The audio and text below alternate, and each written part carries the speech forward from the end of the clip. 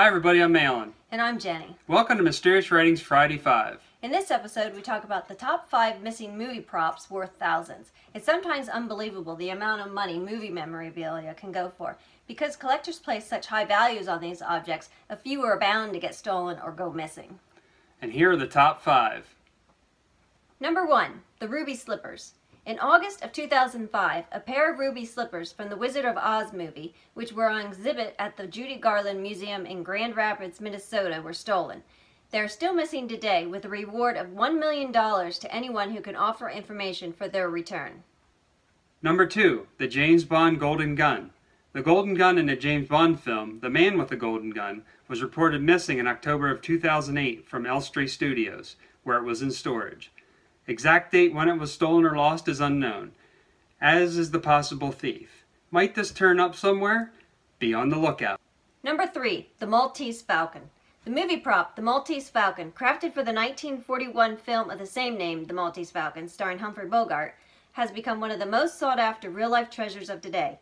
In 2013, a metal Maltese Falcon was auctioned off for over $4 million. However, lighter Maltese Falcons were made out of resin. These too can sell for a hefty price.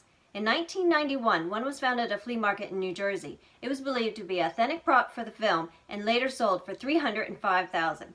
It is uncertain exactly how many Maltese Falcons, metal or resin, for the movie were made.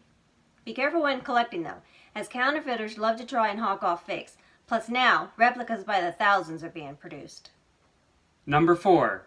Iron Man Suit in May of 2018, police were called to investigate a robbery at the movie prop storage facility in LA. It seems the original Iron Man suit used in the 2008 film Iron Man had gone missing. The suit is currently valued at 325,000 and was taken from the storage business. Where it is today is anyone's guess. And number 5, the Golden Oscars. 55 golden Oscar statuettes went missing in March 2000. The 24-karat gold-plated Oscars were being delivered for the celebrated yearly event when they went missing in the process. Two men connected to the truck trucking company were later arrested for stealing them. However, only 52 of the 55 Oscars were recovered from a nearby dumpster at the time. And then a few years later, in 2003, in Miami, one more was found. Today, two remain missing. So there you have five of the top stolen or missing movie memorabilia.